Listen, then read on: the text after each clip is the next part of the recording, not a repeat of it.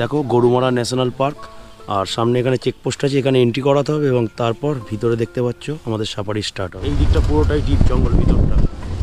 এই দিকটাও তাই। এই দিকটা পুরোটাই কোর এরিয়া এখানে ব্যারিকেড করা আছে সুতরাং আমরা যেতে পারব না। একটা ময়ূর দেখো। দেখতে পাচ্ছ দেখো? এখানে ওই রিজার্ভ ফরেস্ট তো ন্যাশনাল ফরেস্ট তো এখানে বিশেষলি ওই শোল্ডের জন্য আসে জন্তু সব। হুম। হাতি বাইসন গন্ডার হরিণ। এগুলো আছে।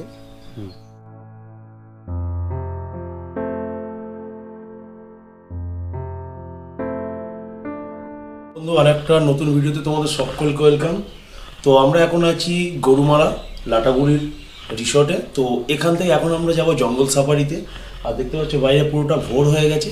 তো অলরেডি আমরা লেট এখন সকাল ছটা বেজে গেছে, সাড়ে ছটা থেকে সাফারি তো চলো সাফারিতে কি দেখি বা স্পটিং আদৌ হবে কিনা, সমস্ত কিছু আপডেট তোমাদের সঙ্গে আসছে। তো জার্নির সঙ্গে থাকো অলরেডি আমরা লেট চলো।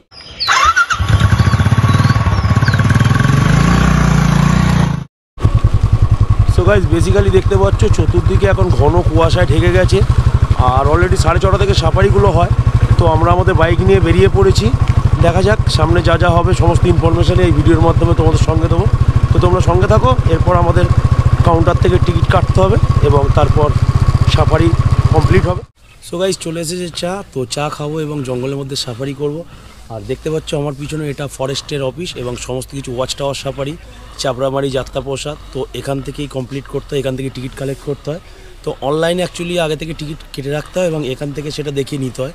তো যেহেতু এই মুহূর্তে অনলাইনে বন্ধ, তো ডাইরেক্ট কাউন্টার থেকে টিকিট দেওয়া হয়। তো আমরা দুজন যাত্রা প্রসাদ ওয়াচ টাওয়ার সাফারি করছি এবং আমাদের অলমোস্ট তেইশশো চল্লিশ টাকার মতন লাগছে ওকে তো এরপর আমরা যাব সাফারিতে এবং স্পটিং হওয়ার চান্স তো খুবই কম যেটা ওনারা বললেন তো সেটা ভাগ্যের ব্যাপার। দেখা যাক কী হয় তবে যা কিছু হবে সমস্ত কিছু আপডেটই তোমাদের সঙ্গে আসবে এই ভিডিওর মাধ্যমে। চলো। সো বন্ধু দেখতে পাচ্ছ আমাদের এই যে জিপসি চলে এসেছে। এটা ড্রাইভার দাদা তাই তো? এটা গাইড দাদা ঠিক আছে? তো পরে সমস্ত কিছু আপডেট দেবো। তো অলরেডি আমরা লেট হয়ে গেছি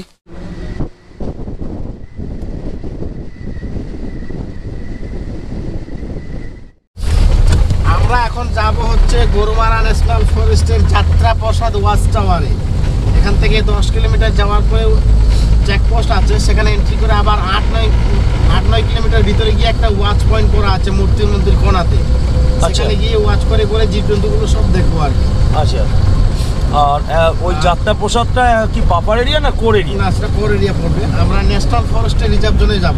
আচ্ছা। গরুমারা ন্যাশনাল ফরেস্ট হচ্ছে পঁচাশি বর্গ কিলোমিটার এলাকা। আচ্ছা। আমরা দশ কিলোমিটার যে ভিতরে যাব সেটা রিজার্ভ জোনের ভিতরে পরে এলাকা পড়ে। আচ্ছা। তাহলে এখান থেকে দশ কিলোমিটার দূরে চেকপোস্ট হ্যাঁ চেকপোস্ট আছে। ওকে তারপর আবার ওখান থেকে আট নয় কিলোমিটার আরও ভিতরে যেতে হবে। ওকে আর এই মানে যাত্রা বছর ওয়াশ টাওয়ার থেকে মেনলি কি কি প্রাণী দেখতে পাওয়া যায়? বলে দাও। জঙ্গলে তো বারো মিশালি জন্তু আছে। হ্যাঁ বেশিরভাগ যেটা দেখতে পাওয়া যায়। বড় জন্তু বলতে গেলে হাতি বাইসন গন্ডার হরিণ আচ্ছা। লেপার্ড আছে ময়ূর আছে আচ্ছা। ছোট বড় অনেক জন্তু আছে। এবার তো ভাগ্যের ওপর ব্যাপার যেটা স্পটিং হ্যাঁ, খোলামেলা জঙ্গল এখন ওদের মর্জির মতন ঘুরে বেড়ায় কখন কোন জায়গায় কী দেখা যাবে বলা মুশকিল। আচ্ছা। আশা করি এই প্রথম সিটটাতে চান্স থাকে বেশি করে। সো গাইজ দেখতে পাচ্ছ আমরা অলরেডি চেকপোস্টে চলে এসেছি। দেখো গরুমারা ন্যাশনাল পার্ক আর সামনে এখানে চেকপোস্ট আছে, এখানে এন্ট্রি করাতে হবে এবং তারপর ভিতরে দেখতে পাচ্ছ আমাদের সাফারি স্টার্ট হবে। ওকে সো গাইজ দেখো অলরেডি ওইদিকে আমাদের এন্ট্রি চলছে। মেন যে জায়গা, ওখানে এন্ট্রি চলছে আর পুরো এই দিকটা দেখো, পুরোটাই চা বাগান। আর ভিতরে একদম ঘন জঙ্গল। ডিপ জঙ্গল আছে ভিতরে, তো আমাদের জিপসি দাঁড়িয়েছে, আমরা এন্ট্রি করব এবং তারপর ভিতরে যাব। তো বন্ধু, তোমরা দেখতেই পাচ্ছ আমাদের এন্ট্রি কমপ্লিট পারমিট কমপ্লিট এই যে অফিস এখান থেকে পারমিট করা থাকে আর এই দু সাইডটা দেখো এইগুলো চা বাগান ওকে তো চা গাছ কাটা হয়ে গেছে, দেখো। আর সামনে এই ধরনের রাস্তা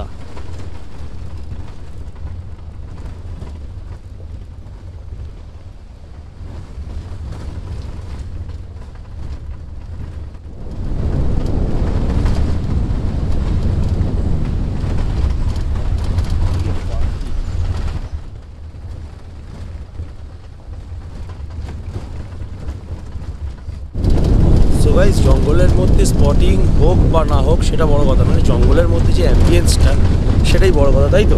কেমন লাগছে সাফারি করতে? খুব ভালো লাগছে। মানে একটা দুর্ধর্ষ পরিবেশ। আর সব থেকে বড় কথা ফ্রেশ অক্সিজেন ওকে তো সেটাই। দেখা যাক কতদূর কী কপালে জুটে যা জুটবে অবশ্যই তোমাদের সঙ্গে শেয়ার করব। ভিতরে একখানা চিতল। ওই ভিতরটা। ওই ওই জায়গাটা চিতল। একটু ব্যাকে একটু ব্যাকে। আর একটু ব্যাকে যাক। ওই দুধটা একটা চিতল গাইজ তোমরা দেখতে পাচ্ছ, দেখো? দেখো অ্যাকচুয়ালি এই জায়গাটায়, দেখো। এই জায়গাটা চিতলটা ভিতর দিকটা ঢুকে গেল। চিতল তো দাদা এটা?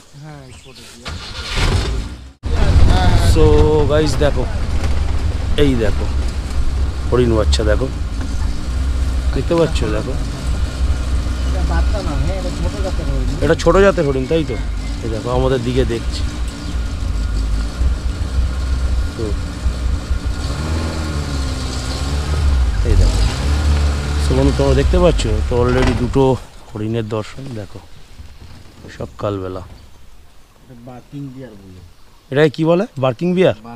সব থেকে ছোট জাতের হরিণ। ছোটো জাতের হরিণ এটা বার্কিং বিয়ার যেটা আমাদের গাইড দাদা বলল। থাকে না একটা দুটো এইভাবেই ঘুরে বেড়ায়। আচ্ছা ওই দেখো। এটা মেয়ে হরিণ ছিল। এটা লেডি হরিণ তাই তো?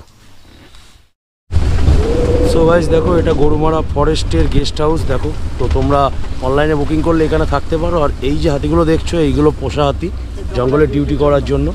আর এটা হচ্ছে গরুমারার ভিতরে জঙ্গলের। এই এইটার নাম কি? গরুমারা ফরেস্ট গেস্ট হাউস আছে একটা তারপরে এটা স্টাফ কোয়ার্টার আচ্ছা, এই- এটা গরুমারা বাংলো। এটা ফরেস্ট আর এটা গরুমারা বাংলো। তো এখানে এগুলো বুকিং হয় তো অনলাইনে দাদা? না এটা অনলাইনে বুকিং হয় না এটা ভিআইপি কোটা সিস্টেম বুকিং আচ্ছা এটা ভিআইপি কোটা সিস্টেম বুকিং আর এই হাতি দিয়ে জঙ্গলের ডিউটির জন্য যেদিকে গাড়ি যায় না হেঁটে যাওয়া রিক্স হয়ে যায়। আচ্ছা। রাস্তাতে হাতি নিয়ে ডিউটিতে যায়। এই হাতিগুলো জঙ্গলে ফরেস্টে ডিউটির জন্য। হ্যাঁ সেটা দাঁতাল আছে দূরেরটা তো এবার আমরা আরেকটু কোর এরিয়ায় ঢুকছি। তো জঙ্গলে যে গেস্ট হাউস আছে সেখান থেকে ডান দিকে আমরা পুরোপুরি একটা কোর এরিয়ার দিকে চললাম। ঠিক আছে দেখো। দেখেই বোঝা যাচ্ছে এটা পুরোটা কোর এরিয়া। কোনো জঙ্গল, ডিপ জঙ্গল, আর বিভিন্ন নাম না জানা পাখির কলেরাও দেখো, সামনেটা পুরোটাই ফাঁকা, এই দিকটা পুরোটাই ডিপ জঙ্গল, ভিতরটা। এই দিকটাও তাই। সো আমরা চলে এসেছি যাত্রাপ্রসাদ ওয়াচ টাওয়ার দেখো, এই সামনে ওয়াচ টাওয়ার তো পিছন দিকটা মূর্তি নদী। যাব, আর এই দিকটা দেখাই। দেখো, এই দিকটা পুরোটাই কোর এরিয়া। এখানে ব্যারিকেড করা আছে, সুতরাং আমরা যেতে পারব না। আর এখানে আমরা ছাড়াও আগেই একটা জিপসি আছে মানে অলরেডি আরও পর্যটক আছে ওখানে। তো গাইস এটাই যাত্রাপ্রসাদ ওয়াশ টাওয়ার দেখো, আর যেহেতু এই এরিয়াটা একটু হাই তো এখানকার ওয়াশ টাওয়ারটা এইরকম।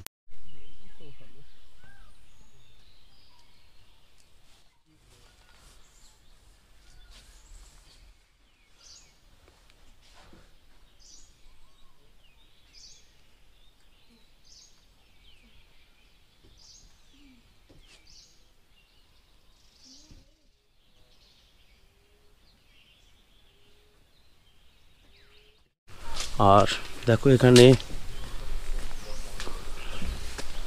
দেখো সিটিং অ্যারেঞ্জমেন্ট আছে বসার জন্য। এই দিকে আছে এই দিকে আছে পুরোটাই। আর সামনে থেকে ভিউটা এইরকম ভিউটা কুয়াশার জন্য সব বন্ধ হয়ে যাবে। কুয়াশার জন্য সলপিটটা কোন দিকে? এটা কি নদী? মূর্তি নদী তো? হ্যাঁ মূর্তি নদী ভুটান পাহাড় দিয়ে এটা। ভুটান পাহাড় দিয়ে জল আছে তাই তো? ওই ওখানে সলপিট আছে। ওটা এখন কুয়াশার জন্য ঢেকে আছে। এই জায়গাটা না? সলপিটগুলো আসে।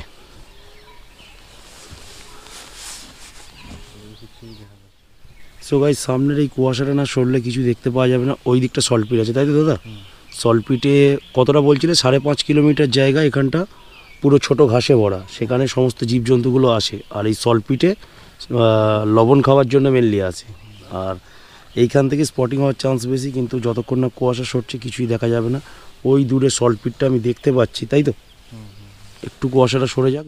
সো এখন আমরা যাত্রাপ্রসাদ ওয়াচ টাওয়ার থেকে বেরিয়ে যাব এবং তারপর আমাদের সাফারিটা শেষ হবে। তো, এখানে তো কিছু পেলাম না। সবটাই কপালের ব্যাপার, আর আমাদের তো ফাটা কপাল। তো দেখি যদি রাস্তায় ফেরার পথে কিছু পাই, সেটাও আপডেট দেবো। আর তারপর ভিডিওটা এন্ড করব। তো, তোমরা একটু ভিডিওর সঙ্গে জুড়ে দেখো তো এখন গাইডদার মুখে জেনে নেব যে এইখান থেকে মেনলি কি কি পাওয়া যাবে এখানে কতগুলো কি প্রাণী আছে রিজার্ভ করা? এখানে ওই রিজার্ভ ফরেস্ট তো ন্যাশনাল ফরেস্ট তো এখানে বিশেষলি ওই শোল্ডের জন্য আসে জন্তু সব। হুম। হাতি বাইসন গন্ডার হরিণ এগুলো আছে। হুম। তো এখানে ন্যাশনাল ফরেস্টের রিজার্ভ নেই ওয়ান হর্ন রাইনোর জন্য বিখ্যাত জঙ্গল। হুম। উনপঞ্চাশ গন্ডার। উনপঞ্চাশ থেকে বাহান্নটা মতন আছে। গন্ডার। গন্ডার। আর হাতির তো কাউন্টিং হয় না তাও সারা বছর থাকার মতন হাতি এখানে দেড়শোর কাছাকাছি আছে। আর সিজনের সময় বেড়ে যায় সাড়ে আচ্ছা। তিনশোর কাছাকাছি চলে আসে। আসা যাওয়া করতে থাকে তো। হুম হুম হুম। তো বাইশনের কয়েক হাজার। কাউন্টিং হয় না তবে পনেরোশোর কাছাকাছি আছে। পনেরোশো হরিণ আছে তিন ধরনের ওই সাড়ে তিনশো চারশো এরকম কি কি। প্রজাতি হরিণ পাওয়া যায়? হরিণ এখানে বার্কিং ডিয়ার স্পটেড ডিয়ার আর সাম্বার ডিয়ার। সাম্বার তিন জাতের হরিণ আছে। আচ্ছা। মানে ময়ূর লেপার্ড সাপ আছে বাইশ ধরনের সাপ আর এখানে সারাদিনে কটা সাফারি হয়? এখানে সাফারি শিফট হচ্ছে চারটে আছে সকাল সাড়ে পাঁচটা থেকে শুরু হয়। হুম। লাস্ট ছটা অবধি। আচ্ছা। বিভিন্ন শিফটে দেড় ঘণ্টা হ্যাঁ, করে? দেড় ঘণ্টা করে সময়। আচ্ছা আচ্ছা। আর গরমকালে টাইমিংটা চেঞ্জ হয়ে যায়? গরমকালে টাইম আধ ঘণ্টা এগিয়ে আছে। ওকে দাদা আপনার নামটা? আমার নাম প্রদীপ করা। অধিক করা। ওকে। সো গাই সামনে দেখো একটা ময়ূর দেখো। দেখতে পাচ্ছ দেখো? একদম আমাদের সামনে এই ময়ূর। যদিও পেখম মেলেনি কিন্তু অসাধারণ দৃশ্য দেখো। খুব সুন্দর তাই না? দেখো কত সুন্দর। Hello hello tata. So guys আজকে আমাদের এই ভিডিওটা এখানেই এড করছি। তো আমাদের যাত্রা প্রসাদ ওয়াশ টাওয়ার সাফারি কেমন লাগল যদিও কিছু তোমাদের দেখাতে পারিনি, তাও এখানকার অ্যাম্বিয়েন্স বা যা কিছু দেখলে কেমন লাগল অবশ্যই ভিডিও কমেন্ট করবে। আর আমাদের উত্তরবঙ্গ সিরিজের একের পর এক ভালো ভালো ভিডিও এরপর আসতে থাকবে, তো তার জন্য কী করতে হবে, এই ভিডিওটাকে লাইক করতে হবে চ্যানেলটাকে সাবস্ক্রাইব করতে হবে। তো দেখা হচ্ছে এই ধরনের আরও একটা এক্সাইটিং ভিডিওতে ততক্ষণের জন্য সবাই ভালো থেকো, সুস্থ থেকো বাই